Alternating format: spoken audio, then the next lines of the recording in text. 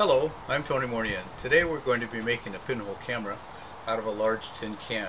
This one used to have tomatoes in it and I've washed it and dried it, taken off the label. I've also made a small guide hole and I'm going to be drilling a larger hole with an electric drill here in a moment. I take a wooden block and I put it across the inside of the can about halfway down. If you notice the seam is on the back side and I'm going to be drilling the hole on the front side. I use about a 3 8 inch drill bit.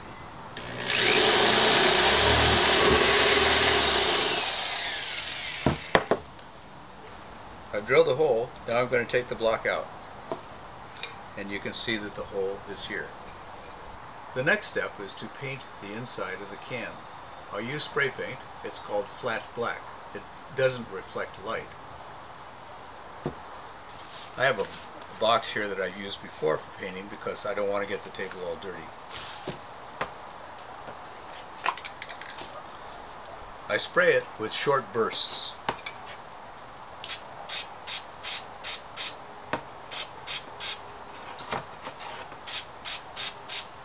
The idea is to cover all the surfaces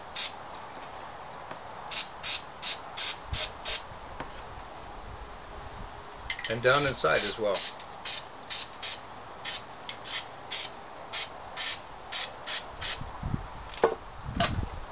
I also spray paint the inside of the top.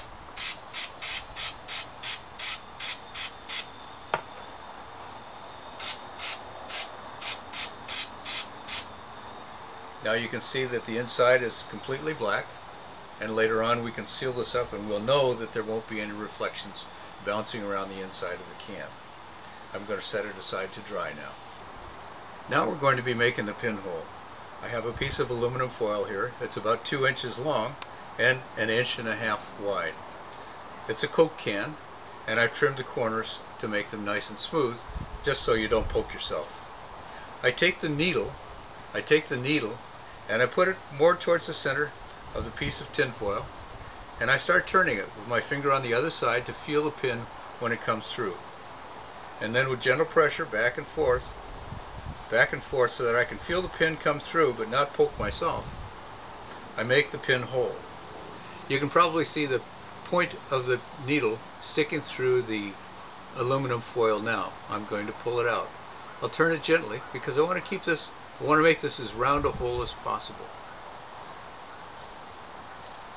Now that we have our pinhole, the back side has a rough edge on it from where the pin went through or where the needle went through.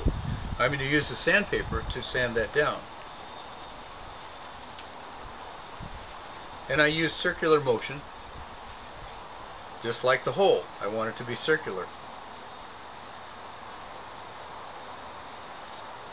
I sand the back side, and then I sand the front side.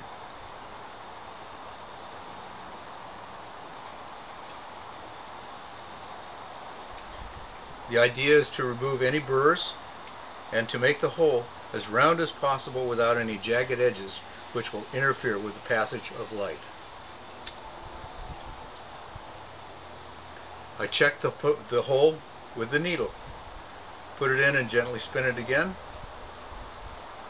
I don't push hard. I'm not trying to make a bigger hole. Just clean up the one that's there. And then I go back and I sand it again just to be sure that I've got all the rough edges off. You want to use thin tin. You can use a pie pan if you want, but that's a little thicker than this, this Coke can. And the Coke can you can cut with a pair of scissors. Alright, so now I've made the pinhole. It's sanded down on both sides, and if you look very carefully, you can see the pinhole in the tin. We've been waiting for the paint to dry on the inside of the can. Now we're going to attach the tin foil, or the tin with the pinhole in it, to the can. To attach the pinhole to the can, we're going to use black tape. This is black duct tape.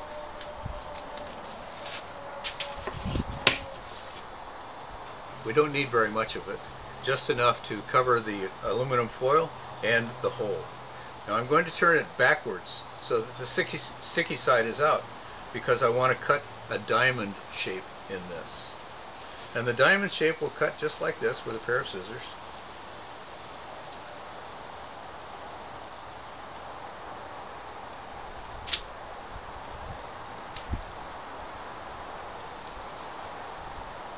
That diamond shape is going to go over the pinhole, the area of the pinhole.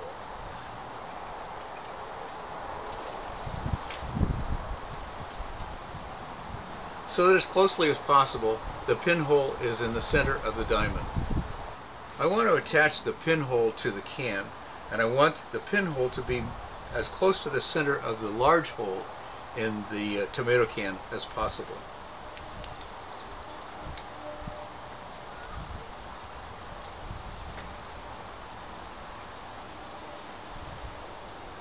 and you can see that I put it on here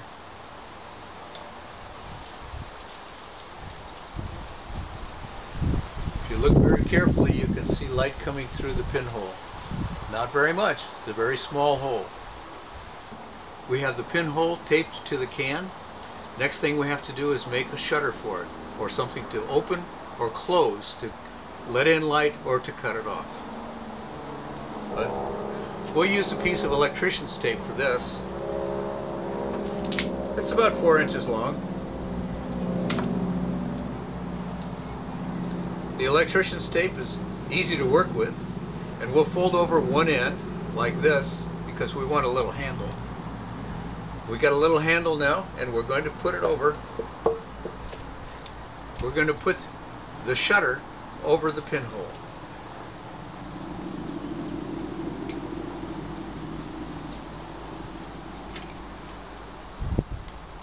The shutter's over the pinhole, but when I want to let in light later on, when I have film in the camera, I just pull it back like that. The light goes in through the pinhole and exposes the film. When it's time to stop the exposure or cut off the light, I simply put the tape back down. Now the camera is finished. The shutter is here. The inside is completely black. The inside of the top is black. All we need to do is put the film in and expose it. Now this is what we would do in a darkened room. In a darkened room, you take a piece of film and you put the emulsion side or the side that's going to take the picture. You want it to go toward, to face the pinhole. And on this, the gray side would be the emulsion side. It has the chemistry on it that makes the picture. So in a darkened room, we open up the pinhole camera and I've cut this to fit the inside of the can so that it goes almost all the way around the inside of the can. In the darkened room we put the film inside the, the can and slide it down. And you do want to make sure that the film does not cover the pinhole. You can see the edges of the film and you can see the pinhole. We don't want to cover the pinhole with the film. So now the camera's loaded and it's almost ready to take the picture. But again, still in the darkened room, we take the lid for the can and we put it on and we tape it shut so that no light can get in. And using some black sticky tape, the electrician's tape again, we tape it very carefully all the way around so that no light can get in.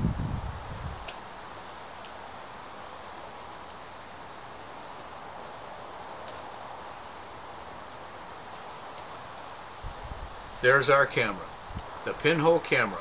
How do we take the picture using a pinhole camera? We take it out into the bright sunlight and we point it in the direction where we want to take the picture. Then we open the shutter.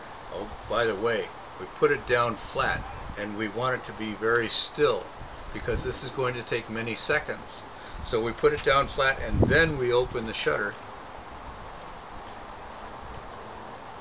and we leave it alone for the time that it will take to expose the film. Sometimes it can be two seconds, sometimes it can be two minutes.